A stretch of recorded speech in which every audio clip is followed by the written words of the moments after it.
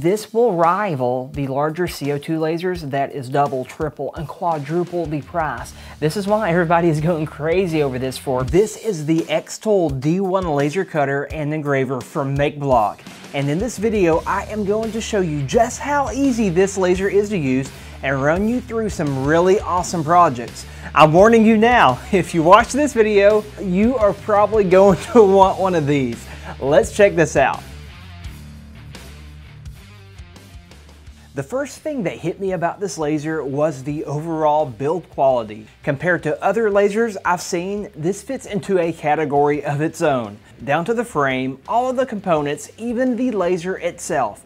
The entire assembly process of the Xtool D1 took about 25 minutes. Not bad at all. If you need step-by-step -step instructions, Xtool has a short tutorial on their YouTube channel. For the first project, we are going to engrave some slate tile. You can already tell that I've been at practice. Now we are briefly going to run through connecting the laser to the computer and using the software LaserBox with this first project. So hang with me for a minute, then we are going to run through the other projects at a faster pace.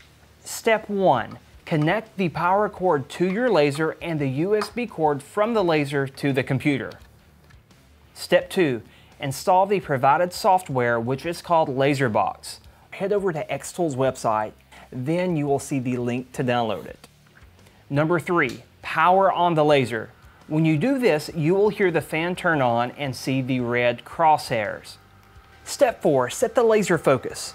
Put whatever material that you are working with underneath the laser module. Now loosen the screw on the side of the laser module and move to the right and put the focus ruler down until it touches the material that you are working with. Tighten the screw back up on the left side and fold up the focus ruler. And finally, step five, we are going to import our images and engrave. When you open up the LaserBox software, it is going to look like this. Now you can see here, I'm not connected to my laser because I do not have it turned on. The first thing we are going to do is click over here at menu, hit import, and we are going to import our image. Now this is what it looks like, and you can see the size over here is in millimeters. Now 100 millimeters is equivalent, let's see here, to about 3.93 inches. So if this is four inches by four inches, which is the size of this, my engraving area is going to be much, much smaller. So what I am going to do here is I'm gonna resize this down here. And so I'm thinking right around 85 should be good. You can go over here or just manually type it in, which I'm going to do. So for the power, you guys can write this down. I'm going to take this to 70 and the speed is going to be 126 millimeters a second and I am going to take my sharpness all the way up. I'm not gonna worry with any other setting. I will tackle those in another tutorial. The laser is already dead centered in the middle of the coaster, so all we need to do now is to turn the laser on. You're gonna go up here where it says not connected and click on LaserBox and hit the start button. And on this next screen, I am going to take the blue dot and set it in the middle of the image. This is going to set the position of the laser relative to the image we are engraving. Now if I hit the framing button, this is going to show us where the edges of the font is going to be. And that is looking pretty good, and I think we are leveled there. Now let's hit start and go for it. Be sure to use the provided safety glasses anytime that you are using this laser. This blocks the specific wavelength of light that the laser is emitting and it will help guard your eyes.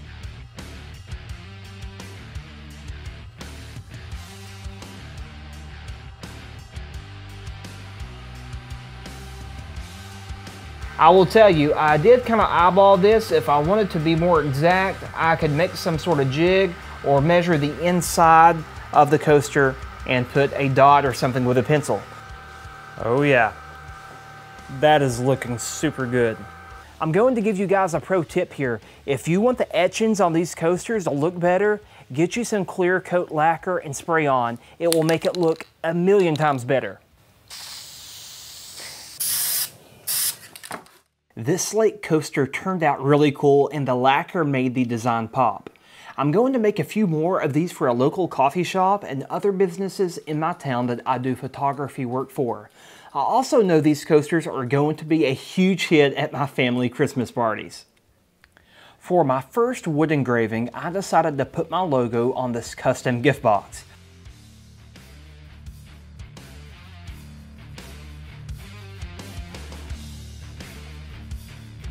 This turned out fantastic for being my first time using this laser. I will definitely use this to put my logo on all of the products I sell. Now let's try a realistic portrait. I see many people online putting family portraits on wood and different types of material.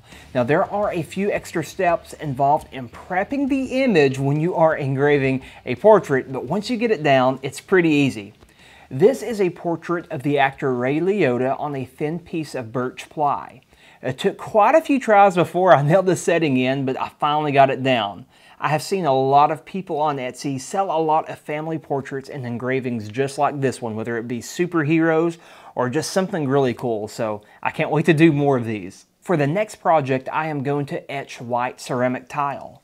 In order to etch properly, I am using Rust-Oleum Satin Smoky Beige paint and primer from the recommendation of Nick from the Build Dead Build YouTube channel.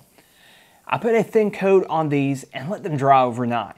Before I started this project, I grabbed a test file from the Xtool Facebook group to help me dial in the settings. I actually recommend doing this for any project by the way. I will link the file below for you to download. The portrait I am engraving is a pug in glasses. I processed the image through a website called Imag-R to prep it for etching. I will cover this more in depth in another video though.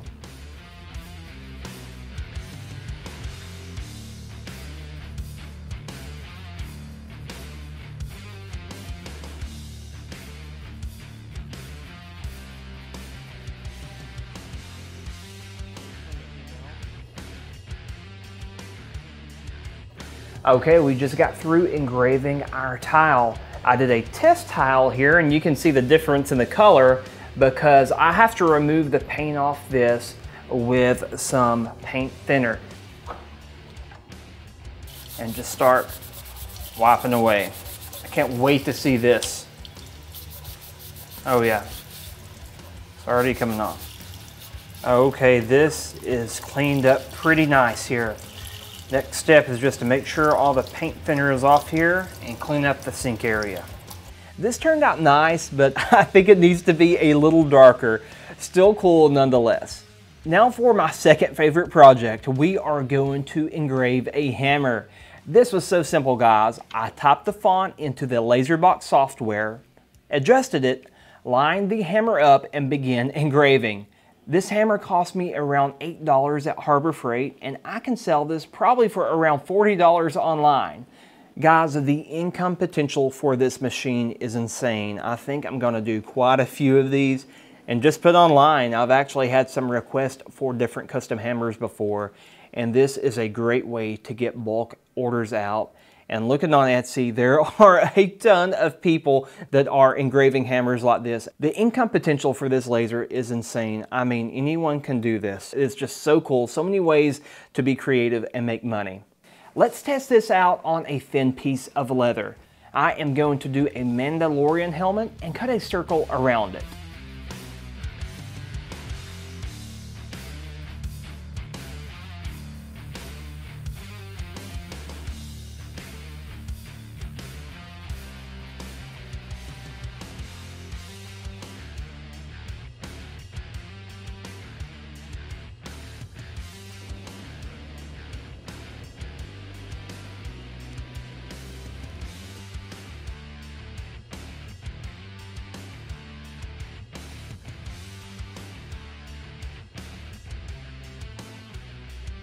This is so stinking fun, guys. I mean, look at this. This is so cool. All my friends that came over that saw this was like, oh my gosh, I just want to go around the house and start engraving everything. Now let me show you one of the most amazing components that you can get with this machine. This is the RA2 Pro, which is the world's first 4-in-1 rotary attachment. This is a roller rotary, a chuck rotary, a sphere rotary, and a ring rotary. It can support irregular sized cylinders, tumblers, and mugs with a handle. A full comprehensive review of this attachment will be in another video, but we are at least going to try this out with the rotary rollers. In order to use the RA2 Pro, we need to put the extender feet on the laser and plug it in. Since I am engraving a tumbler in a mason jar, I am only going to use the roller rotary. For the first engraving, I am doing a Mandalorian design on a tumbler. It is important that you click cylinder working before you engrave. This lets the program know we have the RA2 attachment attached. I am going to save us a ton of time here and tell you that I had the tumbler on the rotary backwards and I was so confused about the orientation of the design.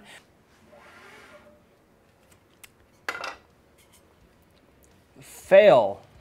I made a oh few mess ups, then I finally got it right.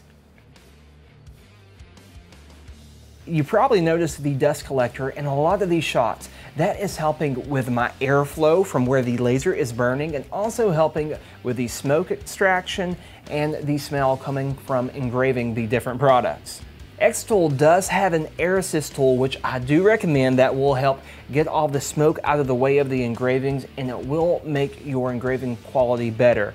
I should be receiving mine soon, but I did not have one for this video, but I did want to let you guys know that that is a great upgrade if you get one of these machines.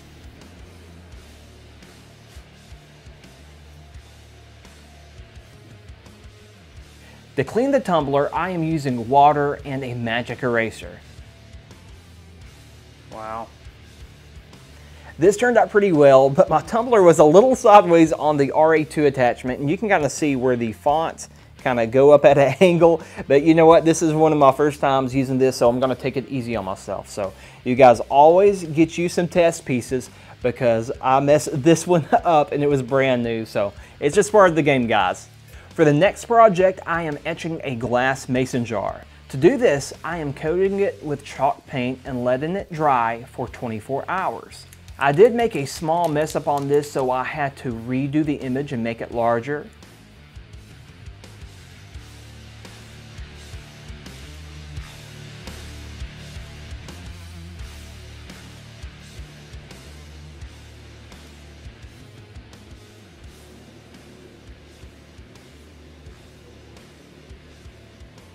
Now I am going to remove the black chalk paint and I'm using paint thinner to do this. This was my first time etching glass and it came out super good. I'm honestly impressed with myself considering the tumblers that I messed up the first time. So this is really good to nail this on the first, well actually it was the second try. But anyway, still good nonetheless. There are so many things you can do with this laser and I didn't even cover how it can cut through material, but I am saving the laser cutting for another video. This starts around $900 and goes up depending on the attachments and the kit that you get. And I will tell you, this will rival larger CO2 lasers that is double and triple and quadruple the price. And this is why this is getting so popular. There are a lot of other good lasers out there, but what Xtool has done here has been very special in terms of quality and even price-wise for what you are getting. There are three different versions of the laser module that you can get. That is the 5, the 10, and the 20 watt. Obviously, the 20 watt is more powerful and can do a little bit bit more, but I am using the 10 watt and it is serving my purposes great. And if you were to ask me, Matt, this is cool and all, but why do I need to get a laser? Well, I'm going to give you my two reasons. Yours may be different, but here are mine. Number one, the creative freedom that this laser provides. I have had so much fun with this laser since I've had it, and when I got this in, I got so motivated, it is like someone took a switch on the inside of me and just flipped it on. You may not consider yourself a creative person, and that's okay, because all you're doing here essentially is dropping in an image in the software adjusting the settings and hitting the start button, and the results speak for themselves. There are a few learning curves along the way, but for the most part, it's just getting used to how this tool functions. Number two is income potential.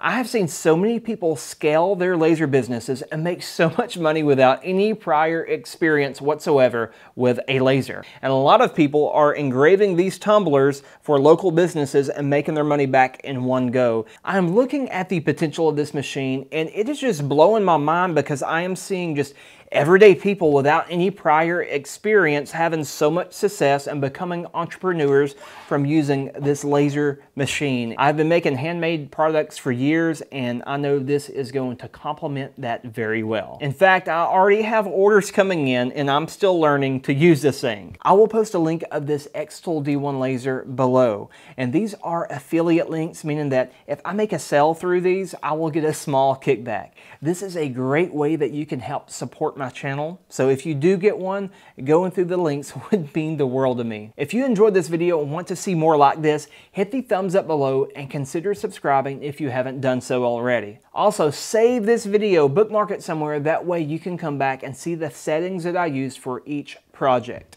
It will help you when you get started.